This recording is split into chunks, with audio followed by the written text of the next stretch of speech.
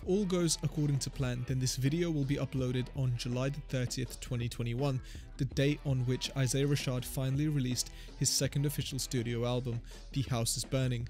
As fans, we've waited almost five long years for this day, a gap that is nearly unheard of in the rap game as we know it. Given our planned punctuality, do not expect any analysis of that album. We will most likely approach that album later down the line when it's had time to breathe, but for now we're going to be doing this. Well, what is this exactly? Think of it as a sort of State of the Union address. It is the capturing of a moment, this moment, if you're watching this on the first day of upload, the day that fans can finally hear the house is burning front to back. So in that sense, this video will be more of a status report, an unprofessional psychoanalysis if you will. Whatever you want to call it, we hope you enjoy and join us in delighting in the glory of one of the genre's most unique voices.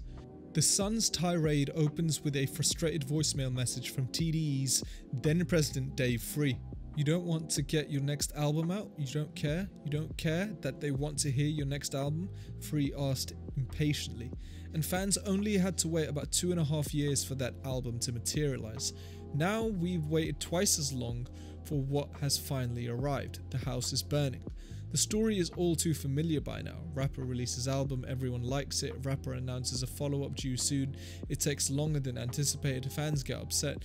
Hell, a certain Christian billionaire genius is leading his fans through his fourth or fifth iteration of that same cycle as I write these words.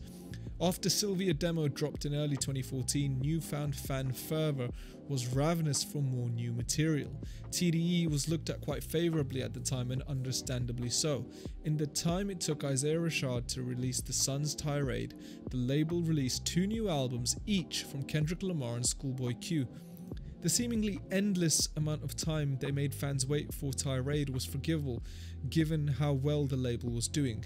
Even the relatively weaker projects from Jay Rock and Ab Soul were well enough to tide fans over. Was it frustrating that roughly a year passed in between Isaiah tweeting that the album was finished and turned in and the album actually dropping? Sure, but the album we got was great and is well beloved by fans. And after all, he began dropping hints that a new album was in the works only a year later. Surely Rashad wouldn't put his fans through the ringer again, right? Well, we all know the answer to that one. It isn't like he is deliberately withholding music to be a jerk, though. In his incredible cover story for The Fader, Jeff Weiss put to words a great deal of the struggles Zay endured in putting this new album together. His story was sadly a common one we see in the hip hop world. I encourage you to read it if you have not, but it essentially boils down to addiction, ego, being taken advantage of, and mental illness.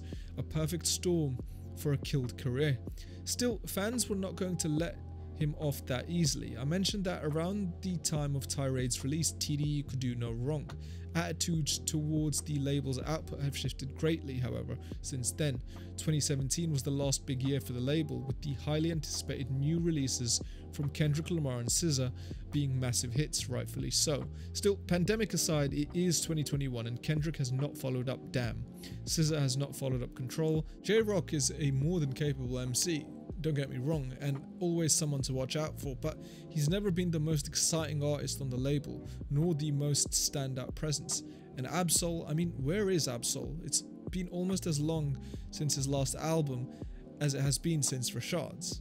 Legitimate disdain for TD's lack of consistent output aside, the drought is finally coming to an end. 2021 is the year that Isaiah Rashad, after five years, releases The House is Burning, and that day of release has come. As of writing, we have heard three advanced singles from The House is Burning, all of them seem to be pointing to a contemporary minimalist sound. Zay has clearly not lost any touch with both his Tennessee roots and the laid back nature of his adopted West Coast home. The first single, Lay With Ya, features up and coming Memphis MC Duke Deuce, whose album Duke Nukem is one of the best in hip hop in 2021 so far. The Tennessee connection runs deeper though, with a sample of 3 6 Mafia's riding in the Chevy featured heavily during the song's intro. This particular song is a pretty strange choice for a first single I think, being a Tennessee trap banger it is not completely out of the line for Zay, but It's not the sort of sound people might expect if they have just come from Cilvia and Tirade. Additionally, Zay's flow is measured, his verse is brief, and his delivery is stone cold, meditative, and borderline monotonous. From what substance can be pulled from his verse, it might seem that he's setting aside a callous attitude towards women in favor of a long term relationship. Last year you was my, now you my baby girl. But again, this song is spare. It goes pretty hard, but it's an unusual piece overall for Zay and Duke Deuce both. Well, okay, what about Headshots? This was the second single, and its title suggests a linkage to For the Score. Keep in mind, this was the excellent song from the Sun's Tirade. This is a much more familiar vibe, and it definitely earns its name. It has that slow, groovy quality that much of Zay's best songs do, while also obscuring a dark tale in its catchy melodies. As the title indicates, it's a song about gun violence, with the chorus being written in such a way that it can either be about being the one who takes the shot or being the one who receives the shot. Zay gives us two full verses on this one, sharing the ability that was only teased on Lay With Ya. It is full of wordplay, further cementing his talent at conveying the pain and trauma of violence and loss in a way which translates through the smooth yet somber beat.